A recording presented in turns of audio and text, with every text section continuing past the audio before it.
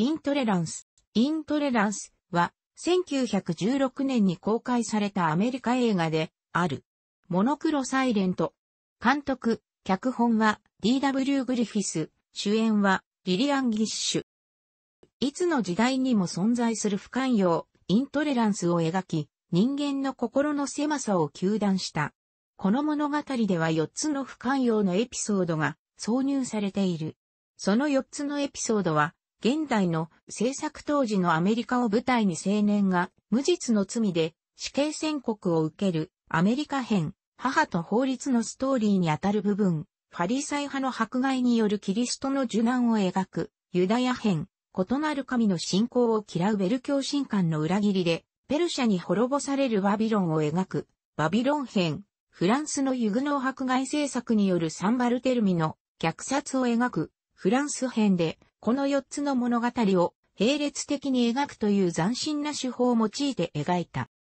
本作は巨大なセットを作り、大量のエキストラを動員させるなど、前作、国民の創生よりも、高額の38万5千ドルの制作費を投じ、文字通りの超大作となったものの、工業的に大惨敗した。しかし、4つの物語を並行して描くという構成や、クロスカッティング、大胆なクローズアップ、カットバック、超ロングショットの円形、移動撮影などの画期的な撮影技術を駆使して映画独自の表現を行い、アメリカ映画史上の古典的名作として映画史に刻まれている。そんな本作は映画文法を作った作品として高い芸術的評価を受けているだけでなく、ソ連のモンタージュ理論を唱えた映画作家をはじめ、後の映画界に多大な影響を与えた。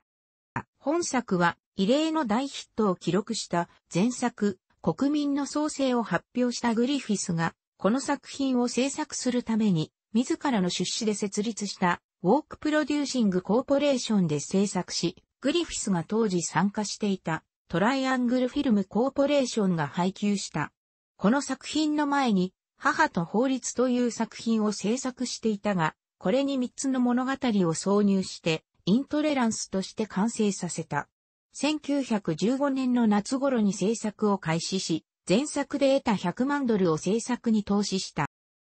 バビロン編では、サンセット大通りの脇に高さ90メートル奥行き1200メートルにも、及ぶ巨大な城塞のセットを作り、城壁は馬車2台が余裕で通れるほどの幅があった。石像建築を含むこの古代バビロンのセットは解体に費用がかかりすぎて何年も放置された口述。建築現場でも見られる鉄パイプで作った仮設の組み立て足場をイントレというが、これはバビロンのセットで俯瞰撮影を行うために多くの俯瞰用の足場を組んだことから、これをこの映画のタイトルで呼ぶようになり、それが略されたことに由来すると言われる。本作の主演はリリアン・ギッシュであるが、彼女は4つの物語には登場せず、物語の間のつなぎに登場するゆりかごを揺らす女性役で出演している。この女性は寛容の象徴、聖母マリアをイメージしているという。出演者には、ギッシュ、メイ、マーシュなど、グリフィス作品の常連が出演しているほか、ダグラス・フェアバンクスや監督になる前のフランク・ボーゼージ、エディッヒ・フォン・シュトロハイムラもエキストラで出演している。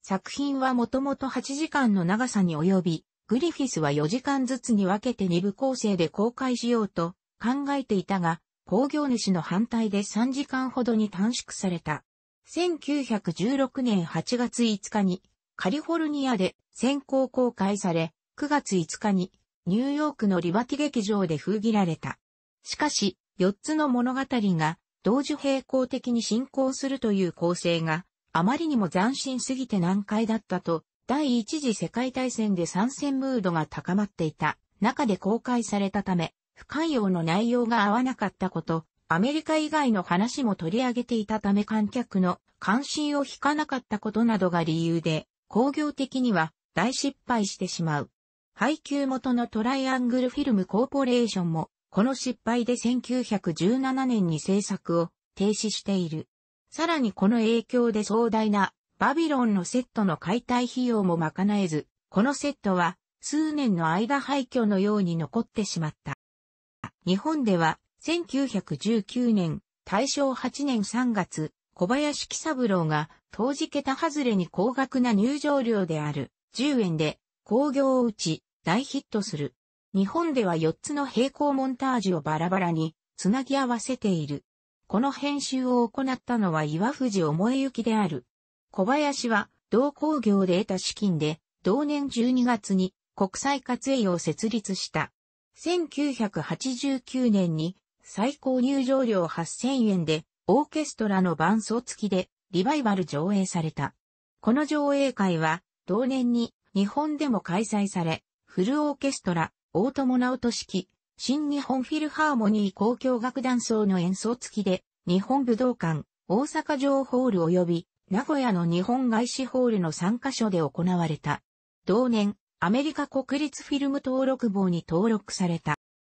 現在、作品はパブリックドメインのため、上映時間の異なる様々なバージョンがルフしている。16ミリプリントを原版とするキリアム版176分35ミリプリントを原版とし、回転数の遅い機の197分、ケビン・ブラウンローとディビッド・ギルによる復元版197分、ダブルゼータプロダクションがアルテ・フランスらと共同で復元したデジタル復元版177分の4つのバージョンが主存在する。日本では iBook162 分と木の国や書店177分から DVD が発売されている。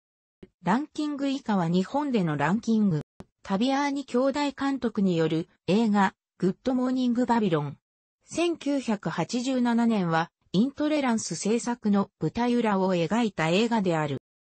アニメ版、キテレツ大百科にイントレランスを見て感動したキテレツ、コロ助、ミヨコ、ブタゴリラ、トンガリの5人が航時機に乗ってイントレランスを撮影中の DW グリフィス2位に行くエピソードがある。